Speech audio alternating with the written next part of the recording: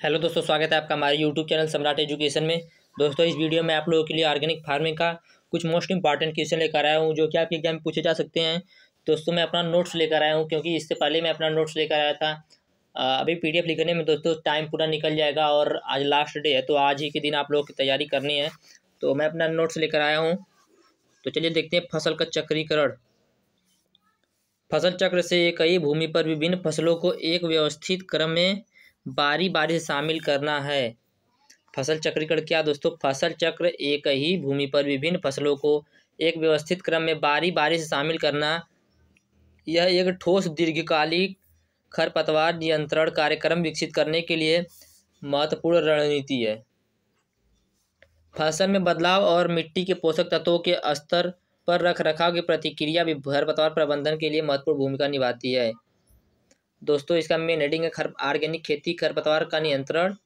उसके अंदर दोस्तों, फ़सल का चक्रीकरण, पहला हेडिंग है। दूसरा हेडिंग है सुरक्षा फ़सलें। सुरक्षा फ़सल।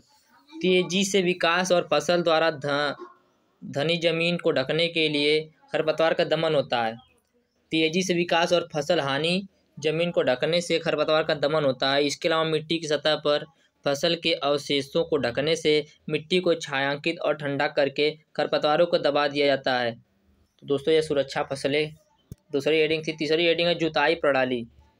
जुताई प्रणाली मिट्टी की बीज बैंक की गतिशीलता और खरपतवार की बीजों को दफनाने की गहराई बदल देता है। इससे लगभग पच्चीस प्रतिशत सीड बैग बिना जुताई वाले खेतों में ऊपरी पाँच सेंटीमीटर मिट्टी में केंद्रित होता है। इसका पीडीएफ चाहिए तो आप लोग अभी व्हाट्सअप कर सकते हैं, तुरंत मैं आपको पीडीएफ भेज दूँगा। जुताई प्रणाली मिट्टी के बीज, बैंक की गतिशीलता और खतबार के बीजों को दफनाने की गहराई बदल देता है। इसके लगभग पाँच इसके अलावा पचहत्तर प्रतिशत सीड बैग जुताई करने वाले खेतों में ऊपरी पाँच सेंटीमीटर मिट्टी में केंद्रित होते हैं। इसके बाद आगे देख, अंतर फ़सल। अंतर फ़सल में मुख्य फ़सल की पंक्तियों के बीच स्मूदी फ़सल उगाई जाती है जो अंतर फ़सलों के खरपतवारों को दबाने में सक्षम होती है। अंतर फ़सल दोस्तों क्या आता है? अंतर फ़सल में मुख्य फ़सल की पंक्तियों के बीच एक स्मूदी फ़सल उगाई जाती है जो अंतर फ़सल के खरपतवारों में द, को दबाने में सूक्ष्म होता है।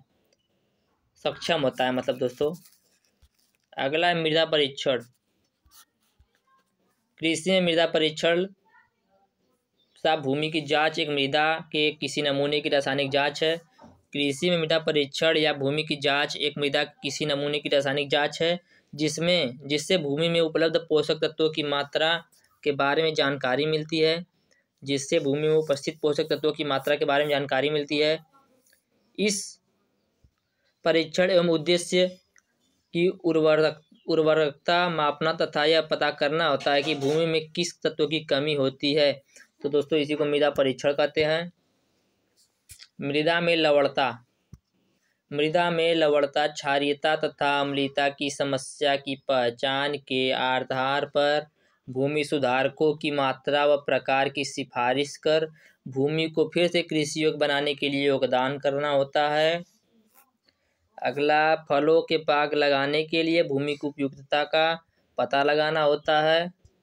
अगला है, मृदा परीक्षण के लिए सबसे पहले, मृदा परीक्षण के लिए सबसे पहले मृदा का नमूना लिया जाता है तथा यह नमूना ठीक ढंग से लिया गया है और वह मृदा की सही प्रतिनिधित्व न कर रहा है तो हल्के ही मृदा परीक्षण में कितनी ही सावधानियाँ क्यों न बरती जाए, इसलिए हमें मृदा का नमूना सावधानी से लेना चाहिए। मतलब दोस्तों, कहने का यह है कि मृदा को हमें जब जाँच करने के लिए, परीक्षण करने के लिए ले जाया जाए तो उसे बहुत सावधानी से लेना चाहिए। आगे चलते हैं। हरित क्रांति। भारत में हरित क्रांति की शुरुआत, भारत में हरित क्रांति की शुरुआत सन उन्नीस से उन्नीस सौ सड़सठ से हुई है।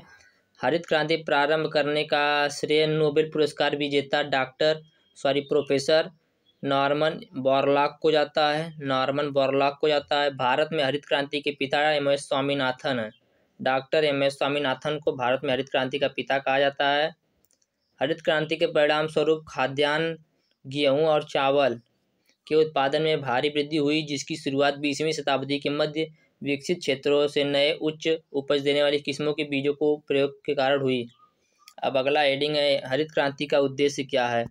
दोस्तों एग्ज़ाम पूछ सकता है कि हरित क्रांति के फादर कौन है? तो फादर दोस्तों हैं नॉर्मन इबाला का। पूछेगा, इंडिया में कौन है? तो एस स्वामीनाथन। पूछ देगा कि हरित क्रांति में किस फ़सल को सबसे ज़्यादा प्रभावित किया गया? तो गेहूँ, चावल, ज्वार, बाजरा, मक्का। अभी आगे आएगा दोस्तों। हरित क्रांति का उद्देश्य। हरित क्रांति का क्या उद्देश्य है? लघु अवधि के लिए दोस्तों हरित क्रांति होती है। दीर्घ अवधि के लिए, रोज़गार के लिए, वैज्ञानिक अध्ययन के लिए, कृषि का वैश्वीकरण के लिए दोस्तों हरित क्रांति का बहुत ही उद्देश्य है। हरित क्रांति में शामिल महत्वपूर्ण फ़सलें।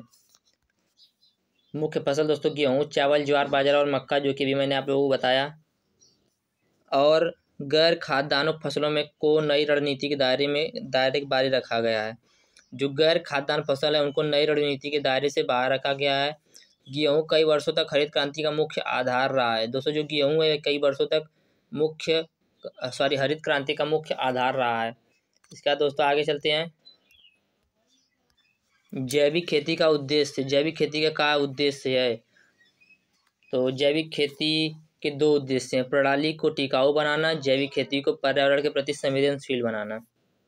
तो चलिए देखते हैं। आप लोग ये याद रखिएगा, जैविक खेती के दो उद्देश्य हैं, प्रणाली को टिकाऊ बनाना, जैविक खेती को पर्यावरण के प्रति संवेदनशील बनाना मतलब पर्यावरण के अनुकूल बनाना। इतना पता रहेगा तो आप लोग अपने से लिख सकते हैं। इन दोनों लक्ष्य तक पहुँचने के लिए ऐसे मानक तैयार करने की ज़रूरत है, जिसका अनुसरण हो। मतलब दोस्तों, कहने का इन दोनों पद्धति तक पहुँचने के लिए ऐसे मानक तैयार करने की आवश्यकता है, जिसका अनुसरण हो मतलब जिसका पालन किया जाए। जैसा कि आप जानते हैं कि भारतीय कृषि में शुद्ध जैविक खेती को अपनाकर रासायनिक उर्वरकों को प्रयोग में, प्रयोग की संभावना है। जाके, जैसा कि सब लोग जानते हैं कि भारतीय कृषि में शुद्ध जैविक खेती को अपनाकर रासायनिक उर्वरकों का प्रयोग संभावना विद्यमान है। जैविक खेती को अपनाने के लिए समन्वित पोषण प्रबंधन और जैविक नियंत्रण विधियों को सशक्त करने की आवश्यकता है। ताकि रासायनिक की, रसायनों की ज़रूरतों में कमी हो सके। तो उम्मीद करते हैं आप लोग समझ में आ रहा होगा। इसका पीडीएफ आप लोग ले लीजिएगा ज़रूर। जैविक खेती का सिद्धांत। जैविक खेती का क्या सिद्धांत है? जैविक खेती की सफलता तीन, के तीन आधारभूत सिद्धांत है दोस्तों। आत्मनिर्भरता पहला अंत निर्भरता आत्मनिर्भरता नहीं दोस्तों अंत निर्भरता यह सबसे महत्वपूर्ण सिद्धांत है। इसके, इसमें दोस्तों ये बताया कि एक खेत पर किया गया परिवर्तन दूसरे खेत के में प्रभाव अवश्य डालेगा। इसमें कहा गया दोस्तों, एक खेत में यदि कोई परिवर्तन किया जाएगा तो दूसरे खेत में वह प्रभाव अवश्य डालेगा। उदाहरण के लिए, उदाहरण के लिए मृदा में अधिक नाइट्रोजन के होने के, होने से खरपतवार की वृद्धि तेज़ी से होगी। अधिक नाइट्रोजन की अधिक अधिक हो नाइट्रोजन होने से खरपतवार की वृद्धि तेज़ी से होगी। इस समस्या को दूर करने के लिए किसान उगाने का, किसान ऐसी फ़सल उगाने का प्रयास करेगा जो मृदा से नाइट्रोजन की अधिक मात्रा को अवशोषित कर लेगा और इस प्रकार से मृदा में पोषक तत्वों के बीच संतुलन बना रहेगा रहेगा दोस्तों। अगला विविधता। जैविक खेती का दूसरा सिद्धांत विविधता है। जैविक खेती पोषक तत्वों में संतुलन बनाए रखने के लिए अवश्य, के लिए किया जाता है। फ़सलों, पशुपालन, विविधता किसानों की आय में लचीलापन लाती है मतलब दोस्तों वृद्धि लाती है। दूसरी ओर पारिस्थितिकी तंत्र में किसी भी कीट या खरपतवार बीमारी की समस्या बनने से रोकता है। दोस्तों, कौन? जैविक खेती या ऑर्गेनिक खेती कहें। आगे चलते हैं। पुनः चक्रण जैविक खेती का तीसरा सिद्धांत पुनः चक्रण है। अर्थात दोबारा से प्रयोग करना। पुनः चक्रण का मतलब होता है दोबारा से प्रयोग करना। इसमें प्रयोग पशुओं के अवशेष, उसमें पौधे और पशुओं के अवशेष पुनः प्रयोग में आ जाने के कारण खेतों के पोषक तत्वों को बनाए रखने में सहायक होते हैं। दोस्तों, जो पुनर्चक्रण होता है इसमें पौधों और पशुओं के अवशेष पुनः प्रयोग में आ जाने के कारण खेतों के पोषक तत्वों को बनाए रखने में सहायक होते हैं। आगे चलते हैं। वर्मी कंपोस्ट, केचुआ खाद, मिट्टी की उर्वरता में उत्पादकता तो लंबे समय तक बनाए रखने में पोषक तत्वों के संतुलन का विशेष योगदान है। वर्मी कंपोस्ट एक प्रकार की जैविक खाद है। दोस्तों, मैं सिर्फ़ लेक्चर दूँगा, सुनिएगा। जो केचुओं के प्रयोग से बनाई जाती है वर्मी कंपोस्ट उत्पादन के लिए केचुओं को विशेष प्रकार के गड्ढे से में तैयार किया जाता है तथा इन केचुओं के माध्यम से अनुपयोगी जैविक वानस्पतिक जीवांशों को अल्प अवधि में मूल्यांकन जैविक खाद का निर्माण करके इसके प्रयोग में मृदा के स्वास्थ्य में सुधार होता है। यह एक मृदा की उर्वरता शक्ति बढ़ाती है। इस प्रकार के केचुओं के माध्यम से जैविक खाद बनाई जाती है उसे वर्मी कंपोस्ट कहते हैं। या तो दोस्तों आसान भाषा में आप लोग बताता हूँ। केचुओं की मदद से कचरे को खाद के रूप में परिवर्तित करने हेतु केचुओं को नियंत्रित वातावरण में पाला जाता है। इस क्रिया को वर्मी कंचर कहा जाता है। केचुओं द्वारा कचरा खाकर जो कास्ट निकलती है, उसे कथित रूप में वर्मी कंपोस्ट कहते हैं। एकदम आसान तरीका दोस्तों। तो उम्मीद करते हैं आप लोगों को समझ में आया होगा। वीडियो अच्छा लगा तो वीडियो को लाइक कीजिए, चैनल को सब्सक्राइब कीजिए। और आगे भी आप लोगों को प्लांट पैथोलॉजी की तैयारी कराई जाएगी आज से ही। तो आप लोग चैनल को सब्सक्राइब ज़रूर कर लीजिएगा। जय हिंद।